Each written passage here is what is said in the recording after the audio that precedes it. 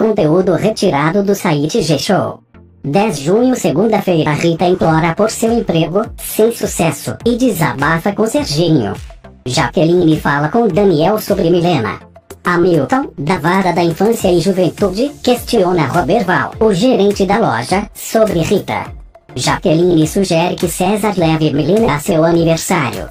Beto faz um comentário sobre o namoro de Felipe e Martinha ao casal, e ela se incomoda. Regina pede que Guga ajude a convencer Max a cuidar da saúde. Milena conta que conheceu Jaqueline, e Karina se enfurece. Raíssa toca violão com Bill. Serginho vê quando Lara dá dinheiro a Roberval por ter demitido Rita, e confronta o chefe. Hamilton e Nádia visitam Lígia e Joaquim. Mega aconselha Martinha a desistir de Felipe. Serginho é promovido e decide recontratar Rita. Karina ameaça Jaqueline. Lígia encontra Rita. 11 de junho, terça-feira, Rita revela a Lígia que Lara subornou Roberval para demiti-la da loja. A festa de aniversário de Jaqueline gera expectativa em todos. Van alerta César sobre a ameaça de Karina a Jaqueline. Lígia e Joaquim confrontam Lara, que garante que Rita está inventando mentiras sobre ela. Marco tenta se aproximar de Carla, mas Madureira o provoca. Kleber explica a Anjinha seu temor de Marco. Margarida e Vânia admiram Marco, e Madureira fica indignado. Regina insiste para que Max cuide melhor de sua saúde. Guga comenta com Rita que Camelo não aprova sua presença na festa. Tiago observa Jaqueline com Daniel. Camelo implica com Guga e Rita o beija para ajudar o amigo. Rita, Guga e Serginho se preocupam com a reação de Camelo.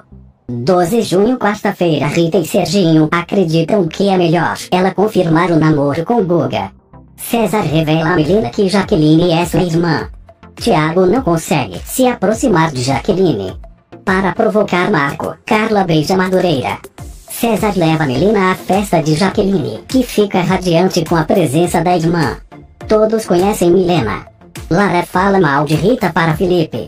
Nanda desconfia do namoro de Rita e Guga. Milena sente-se mal e acaba se ferindo. Vânia cuida de Milena. Lúcia chega à festa e todos se emocionam. Anjinha e Kleber namoram escondidos. Marco questiona Lúcia sobre Kleber.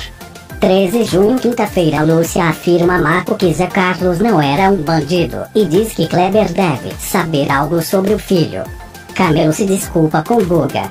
Marco pressiona Kleber a contar a verdade sobre Zé Carlos.